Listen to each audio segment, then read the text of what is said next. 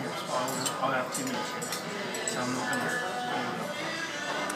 Hi, it's John again, and welcome back to Last Bite TV. It's been a while since we did our last review, and today I'm at the Intercontinental Hotel in Victoria, and here's my lunch.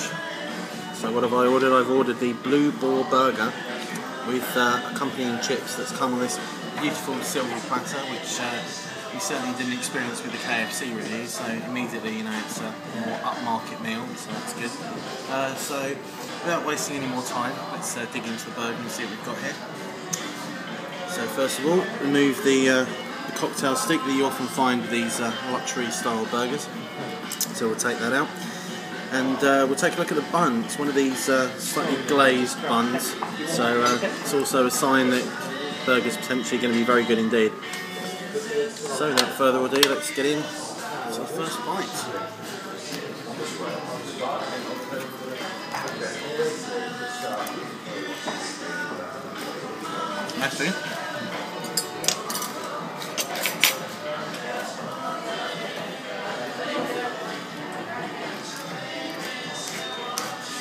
Okay, so I ordered this burger medium.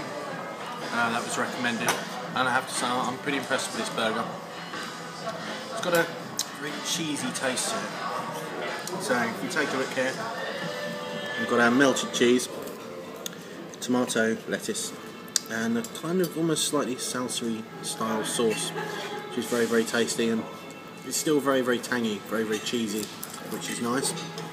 So uh, just going to allow that to uh, fester on the palate for another minute or so and move on to the chips which are, I'm pleased to say, very crunchy. Nothing, uh, nothing particularly amazing, but they're, they're crunchy, uh, still quite warm which is good. You can get them in a lovely silver dish. Let's go with your lovely silver platter. and we also have here, I've just noticed, a little piece of greaseproof uh, paper, BB for Blue Boar. So uh, you know, it's sort of uh, all branded up for you as well, so just reminds you of what you're eating in case you forget. So if we go in for another bite,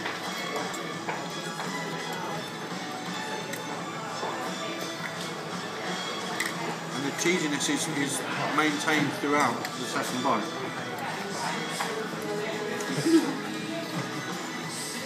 Very tangy. I would, I would say that that's a very good burger indeed. Very juicy, very thick. I'm, I'm, I'm impressed considering it's medium and I don't often have uh, beef medium, so that's, that's very nice. So, the rating for the Blue Boar Burger. I think that uh, we're going to be talking about an 8.5 here again, the same as the Big Daddy Burger. It's good, not the best I've ever had, but it's very, very good indeed and I would definitely recommend it as well as the uh, crunchy chips as well.